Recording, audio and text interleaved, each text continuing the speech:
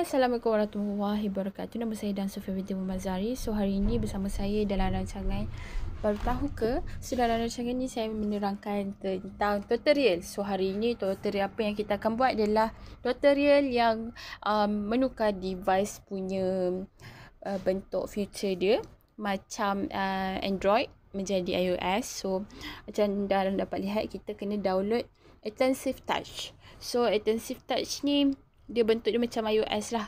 So, macam korang tahu kan, kita kalau handphone ni, uh, terutama Huawei, dia punya features dia memang tak ada uh, bawah tu kan. So, nak memudahkan, kita tak payah nak ke kanan ke kiri. So, features dia ada kita tukar jadi bentuk iOS je. So, macam mana kita kena buat adalah kita kena buat intensive touch. So, intensive touch ni uh, memudahkan. So, dengan cara yang macam biasalah. Um, So bila download dia automatic keluar bentuk macam ni. So bila korang dah So korang kena setting lah. Korang kena setting lah. So macam mana nak setting adalah kau nampak dia punya setting tab. Dia boleh floating menu.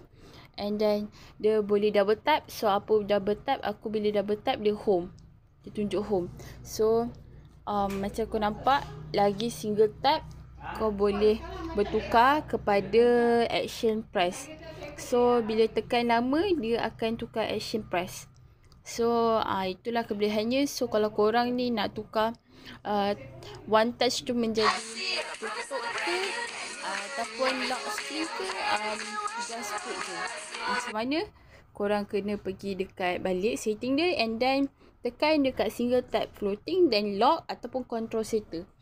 So dia ada action back, action home, reset, floating, uh, last app switcher. So just tekan and then dia akan bantu korang untuk buat um, apps ni lah. So switcher ni memudahkan korang untuk handphone yang tak ada uh, aplikasi yang ke belakang ke tepi ni yang kurang macam tak biasa kan. So dia memudahkan dan dia macam features dia berguna untuk device yang misalnya nak upgrade tu iOS lah.